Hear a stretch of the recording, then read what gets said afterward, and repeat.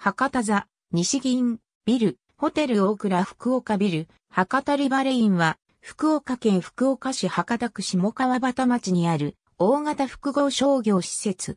福岡市主導による再開発により1999年3月6日に開業した。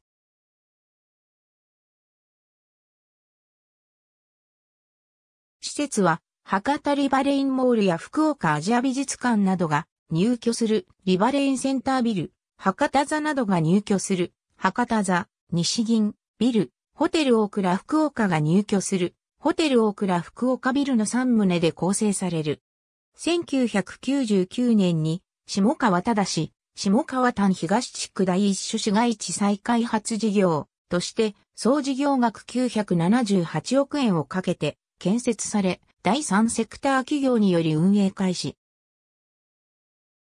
現在の博多リバレインモールがあるビルには、川向かいに隣接する福岡玉屋が入居するはずだったが頓挫し、同ビルはスーパーブランドシティとして開業するも、2002年12月16日の運営会社の破綻により一時閉鎖。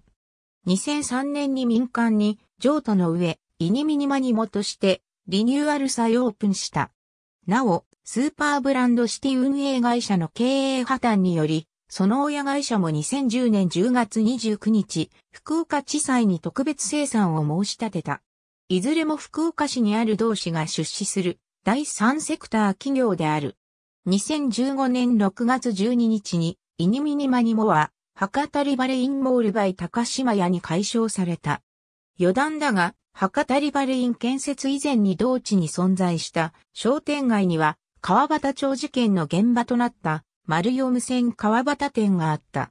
アーカイブされたコピー。2010年11月8日時点のオリジナルより、アーカイブ。2010年12月26日閲覧。博多リバレイン、イニミニマニモが解消産経ニュース2015年4月14日。ありがとうございます。